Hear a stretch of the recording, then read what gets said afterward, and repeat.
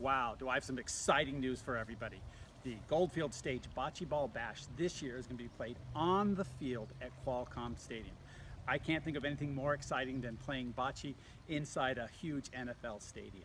Our friends at Coronado Brewing Company will be providing beer. We also have a DJ on the field spinning some of your favorite tunes.